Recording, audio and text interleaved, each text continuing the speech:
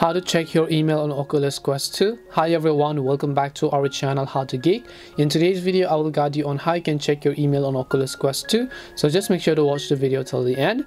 To check your Oculus email, you will not be able to do it from the app or not from the Oculus headset itself. So only way you can do it is if you're logged in on your website or your browser.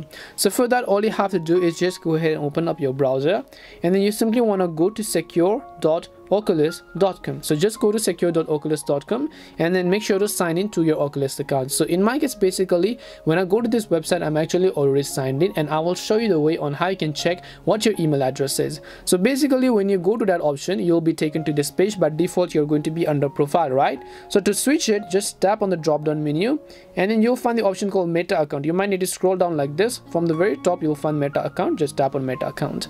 So when you tap on meta account basically you'll find your email address address right over here right? And this is basically our email address.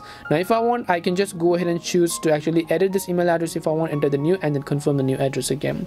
But to your knowledge this is it on how you can check your email on oculus quest 2 we hope the video was really helpful and if it did help you then make sure to leave a like and subscribe to the channel. If you have any questions feel free to leave them down. Thank you very much for watching and see you in the next video